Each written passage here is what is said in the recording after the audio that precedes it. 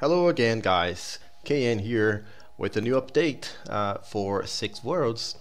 And in this video I will start by showing you guys uh, what are the new additions to our uh, temporary graphic interface and then of course we will uh, have a chance to look under the hood and see how things are working here with the code I just added to the game. Okay, this thing now works as a kind of property explorer or property navigator. So basically we can browse the properties that, that we want here. So for example now we're looking at a player, player number 3 and you can see that this guy has a health bar, uh, a, a certain amount of gold and energy as well. And those things are all stats. You can see that this goes up to 100, gold goes up to 99. But you, you know what? Uh, gold is not supposed to work like that. So uh, along, along this video, along the way, we will see that some things are not 100% consistent. But I wanted to do a video anyways because I was pretty much excited to show you guys the new things uh, that I have uh, come up with. Okay, so it also shows here, if you notice, that this thing has no effects. And this means that, for example, it would be possible to add an effect to your uh, health stat. Something that gives you uh, gives you a little bit of extra health every turn. Or maybe I could design this as a disease and attach it to your energy stat and it would uh, decrease your energy over time uh, until you find a cure for this okay and of course uh, there's the inventory the inventory uh, for now can hold up to 25 items uh, and I add uh, around three items for every player. It's a random number. It says that it has three effects, but also uh, actually these represents three items. The game just can't tell the difference between effects and items for now. So let's check this out. So this guy has key number 37 Key number 37 has no effects because I'm not sure uh, what keys are supposed to do in this game for now. But it's here just to show. This guy also has a hammer and the hammer has one effect, so let's check this out. Uh, the effect is called minor repair and it affects durability by 35 points. Interesting, huh? And this guy also has one apple, and the apple has the cure effect, which uh, adds 15 points to your health. Okay, so yeah, player 3 is a suspicious kind of name, so probably we have more. And actually, if we click here, you can see that we have three players, so I'm kind of preparing the game to be multiplayer compatible. So let's check out maybe player number one. Uh, you can see that all the guys have the same amount of health, gold and energy when they are generated or created. So let's just check out the inventory. So this guy uh, has a dagger with two effects. Let's check this out. This is a weak poison um, affecting the health by one point. So this is supposed to be an effect that has a specific durability. So it should uh, keep dealing uh, one point of damage every certain amount of time. So I'm not sure what this is going to be so that's why this information is not included here. And it also has the effect called minor damage uh, which subtracts 10 points from your health. Uh, this guy has also bread so the bread was one effect it affects energy instead of health uh, which is cool as well. Let's maybe now check player number two player number two has uh, another key, dagger, and bread. So yeah, every time we execute the program, uh, it will generate three random uh, individuals. So uh, yeah, something failed there. Okay, uh, this guy has coins, so extra gold affects gold by 10 points. Let's check another guy here, player number two. Um, key, dagger, and bread, nothing new. Player number one hammer and hamburger. Hamburger is pretty interesting, guys. So this guy has a hamburger, and if you click here, you'll see that the hamburger actually contains meat, cheese, and bread. I don't know if I will keep this, but it's just to show you guys how things are possible you know how how things are possible cheese is quite interesting here as well because cheese uh, is good for your energy gives you energy but it's bad for our health. So some items can be like that. And this is very flexible. The way to model uh, each item and the way to link each item to each other is extremely easy and quite enjoyable. You know I had a lot of fun uh, kind of crafting uh, all those items here and yeah this is not 100% consistent but yeah if, if we go one level up you can see that the game is the object that it's at the root of, of this entire structure. And uh, it has a player list, an item list, and an effect list. And actually, we can see all the items in the game at the moment and all of the, the effects that we can combine to make new items. And this is how everything is working. So this is it for the for the graphical interface for now. And maybe you guys want to have a look at the code now. You might notice that I added quite a few new uh, classes here and let's just quickly go through all of them. Um, yeah, Six Worlds is now called Six Worlds GM for uh, Graphical Manager because this Graphical Manager can and will be changed in the future. Uh, and there's not much to, to tell about this. okay, so let's let's move on. Okay, this is a pretty important class. This is a stat, and what it does uh, basically is keep track of values that ha have a minimum and a maximum value.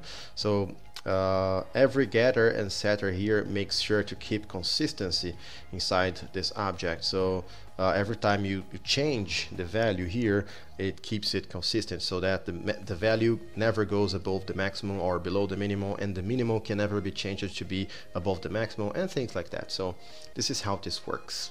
Uh, here you can see the creation of a player. So a player needs a name and then for every player we will create a stat called health and attach it to the player. We also attach the energy stat as well as the gold and uh, an inventory. So yeah, the inventory has a special variable because we need to deal with this a lot of times, so I found it uh, to be a little bit more convenient to have a private variable here. And currently the player only has one uh, important method, which is the pickup pickup will just add an item to the to the player's inventory. But of course it will also check if the inventory is full uh, and uh, if it if the items are supposed to be stacked together okay? And that's basically it for the players. Now of course uh, when I start working with the execute thing here uh, if, if the player is a actual person, I will just read the keyboard. I will have to deal with the network stuff for multiplayer. And if it's if it's AI, I will just have to do the all the AI here with the execute thing. Uh, we have the item class. This is this class is a lot more simplified now. It has basically nothing, just an amount, because items are things uh, that stack.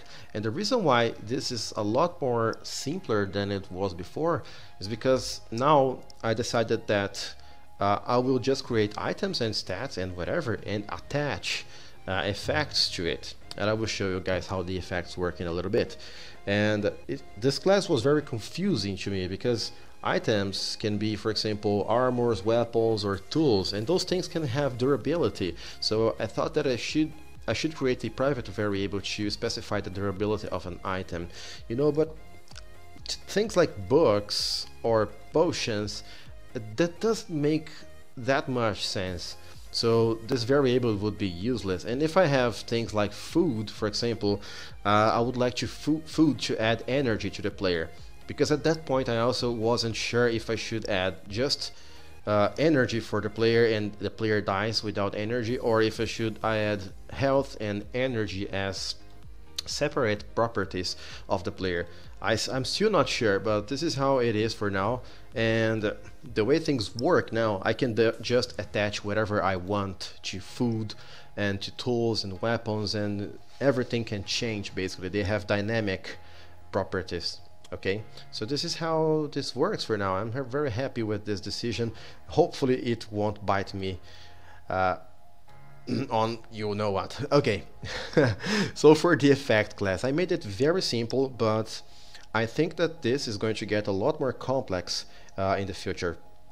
So an effect basically is uh, a object with a name and it also has a target name and what it's supposed to change. So effects are specifically created to change stats at the moment.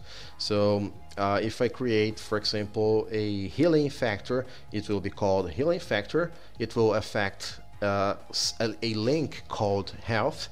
and it will change it by some amount, like two positive, for example. And this is how it, it all works. Uh, nothing, nothing, not a lot to that. You can see that I already added support for uh, duration. So, for example, potions can have effects that last longer, or you know. So, yeah, this internally it kind of works, but I'm not too worried about this because of the things I mentioned before. And finally, uh, we have the the game uh, the game object here, uh, which is supposed to be the root of the entire structure containing the effect list, item list, and player list. So the constructor will create the effects, items, and the players. At the moment, it will just generate three players. Uh, and here is you can see how the the effects are created. I just give it a name, uh, what it's supposed to affect, and how much it's supposed to affect this thing by. Then I create the the items with the names and then I attach the effects to the items. And you can see the hamburger creation here which is pretty interesting. You can see the bread being attached to the hamburger and the bread already has uh, the effects attached to it. So uh, hopefully if I do the logic right if you consume the hamburger it will consume all the three items and be affected by all the the chain effects that are attached to all the objects here. And this is how I create objects for now. So yeah the game object also can execute thing, things and probably this is going to take care of the entire game. So whenever I need to give another tick to the game uh, this will take care uh, since it keeps a list of all the players so all the AI it should also keep a, a list of all the all the effects currently running in the game so when I execute this huge object here, it's supposed to update everything in the game and basically make the, the game work. Uh, okay, and this is the game object, which is an old object. You guys know this since the last video uh, on this subject, but I, I, I, had to do quite a few updates to this thing. So now we have some new objects like any. Uh, I'm trying to remove this thing, but for now there are some problems that I wasn't able to solve without creating a game object of type any. It sounds like a generic type, like the same thing as the generic type, but for now I can't I can't mix those up. So let's let's keep it like that. Container is something that I am considering. I'm not sure if I should do it. Like uh, some objects are just supposed to to do to store other items, and the execution of of a container is is nothing really clear to me. But basically, it would be a bag or a chest or I don't know th things that have on other things inside. You know, containers might be a thing internally, but I'm not sure for now. So we have here the new stat thing. Um, this this is super interesting. So I'm planning on creating an object uh, called relation. So whenever you meet someone. Uh, there will be a new ob object created called relation and relation is basic something that can go both ways. It can be a positive relation or a negative relation which means that next time you meet the same person this person is supposed to remember who you are and what kind of relation you have. So maybe if you are talking to a shopkeeper he will give you a discount or maybe he won't even sell to you. you know, things like that should should add a lot of fun to the game. So I'm really looking forward to start working on this class here. And other than that, we have action. I'm not going to explain what this does because we already have commands here and the new effect class. And this is basically all. Of course I need to I needed to do a, a, lot of other changes and additions to this class here. And I still need to mess with this because this is uh, the base for everything. This is actually the most important class at the moment because it gives support to everything I'm doing here and let's have a look. Let's just out of curiosity just check out just one more guy here. Okay let's maybe go player one and see its inventory. So this guy has a sword and a hamburger. A sword what, what would you do with a sword and a hamburger? Okay guys so yeah I don't want to make this video too long but I really hope that you guys enjoyed. Uh, of course, as always, your opinions and suggestions are very welcome, so don't be shy, just use the comment section of the video. Uh, if you want to make sure not to, to miss my next video, please subscribe to the channel or even uh, follow me on Twitter and that's all for this video. Thank you very much for watching and see you next time. Bye.